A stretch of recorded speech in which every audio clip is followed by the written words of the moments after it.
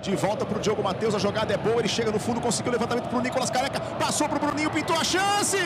Caiu, a galera gostou. Atenção, Rios disparou de longe, Cássio, 4 do Guarani, Renato Augusto recebeu perto da meia-lua, bateu no canto, Cosni!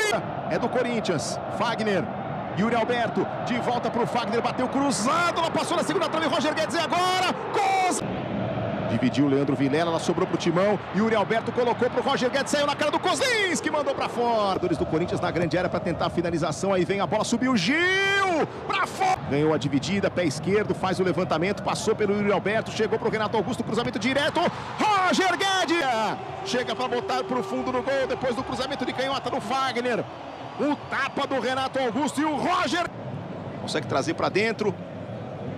Juliano, a tabelinha é boa. Juliano para o levantamento. Yuri Alberto passou para o Fábio Santos. Corinthians, dois para o Timão, um para o Guarani. Alexandre Losetti no campo.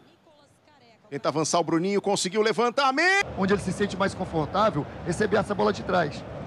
Renato Augusto girou para o Yuri Alberto no pivô, passou o Renato, Yuri cortou para bater de canhota.